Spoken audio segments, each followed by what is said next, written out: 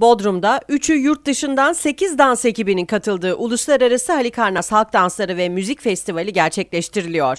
Muğla İl Kültür ve Turizm Müdürlüğü'nün katkılarıyla Çanakkale Folklor ve Araştırma Derneği tarafından Uluslararası Halikarnas Halk Dansları ve Müzik Festivali gerçekleştiriliyor. Bodrum Kalesi'nde düzenlenen festival öncesi Kuzey Makedonya, Arnavutluk ve Ukrayna'dan gelen gruplar, Bodrum Folklor Araştırma ve Spor Kulübü, Milas Folklor Araştırma Grubu Derneği, Hatay Folklor Eğitim Merkezi ve Spor Kulübü ile Çanakkale Folklor ve Araştırma Derneği'nin iki ekibi kortej yürüyüşü gerçekleştirdi.